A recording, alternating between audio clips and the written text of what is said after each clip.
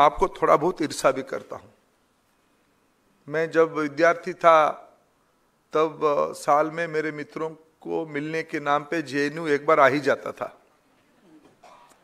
और तब कहता था कि मैं इतना अच्छा पढ़ता तो यहाँ भी आता। और आप सौभाग्यशाली हो देश की एक प्रीमियर यूनिवर्सिटी में, जिसके अनेक चरित्र है। इसको अगर हम जेएनयू को कैरेक्टराइज करें जे को एक इंस्टीट्यूशन के रूप में समीक्षा करे। मैं नहीं मानता हूँ, विश्व में इस प्रकार की मल्टी डाइवर्सिटी के साथ कोई विश्वविद्यालय है।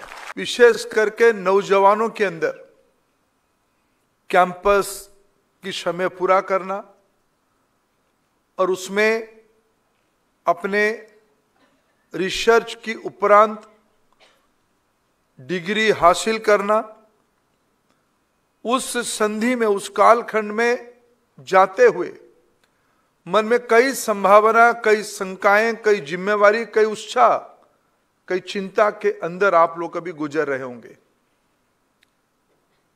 गंगा ढाबा में अभी आना तो नहीं होगा। लाइब्रेरी में पढ़ाई के नाम पे आप जो करते हैं, उसकी समय भी खत्म हो गया। अभी समाज जीवन में आप नेतृत्व करने वाले हो।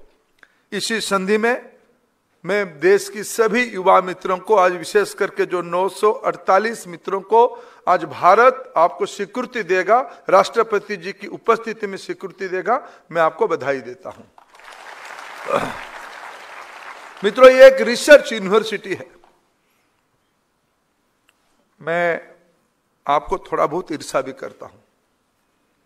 मैं जब विद्यार्थी था तब साल में मेरे मित्रों को मिलने के नाम पे जेएनयू एक बार आ ही जाता था। और तब कहता था कि मैं इतना अच्छा पढ़ता तो यहाँ भी आता।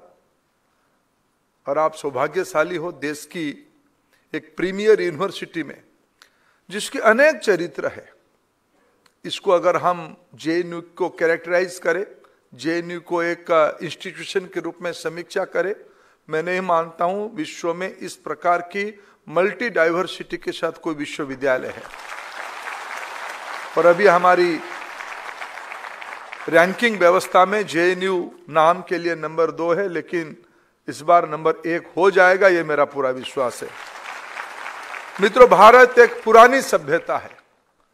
इस सिविलाइजेशनल प्रवास में सदैव भारत की पूंजी, अपनी ज्ञान पुंज रहा है नॉलेज रिपोजिटरी रहा है। भारत की परिचय, भारत की ताकत,